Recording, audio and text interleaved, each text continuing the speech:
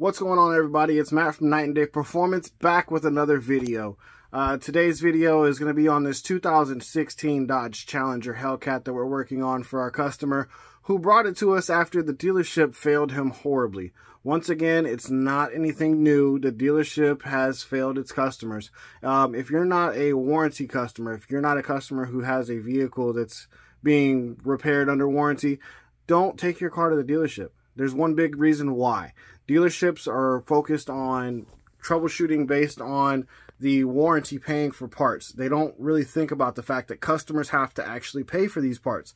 Whenever you have a warranty job, think of it this way. If they say your car is misfiring and they change the spark plugs, uh, Dodge pays for the spark plugs under warranties for, per se. This is just as if.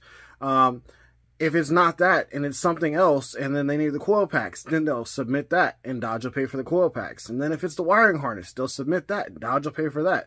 Instead of finding the pinpoint issue, Dodge techs usually are just going to replace whatever they feel is causing the problem because it doesn't affect anything. It gets paid for by Dodge, no big deal. The problem becomes when you're out of warranty when they try these same things.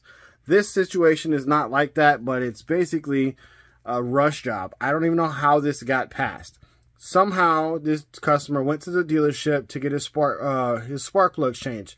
He was at the 60,000 mile interval. He got the notification from Dodge, hey, you should change your spark plugs on your Hellcat. He brought it in for oil change and spark plugs. No big deal. As soon as he picked up the car, it felt weird. It was running a little odd. It had a slight stutter. Um, and he brought it up to the technicians and they said, well, we're booked right now. We won't be able to get your car back in for another week or two. We don't have any loaner cars for you. So you'll have to come back later. The customer just continued to drive on the car and said, okay, maybe it's okay until it got to the point where it was misfiring bad. It started to shake and, and he knew something was wrong. He called us and brought it to us. Come to find out, the dealership put the wrong plugs in. They put Bosch plugs in, which are not even recommended or authorized for Mopar dealerships to use. Um, we always use NGKs. Uh, champions are something that is used on the older Hemis. The newer ones, they all run NGK laser iridiums. It's just what we always do. But they threw Bosch plugs in, still charged him the higher price that they would for the NGK plugs. And they charged this man over a $1,000 to change the plugs and the oil um, considerably over that. And it wasn't right. And they made him deal with it. That's why I said, if you don't want to get screwed over like that, go to people that care about your car, people that love cars, people that work on them daily.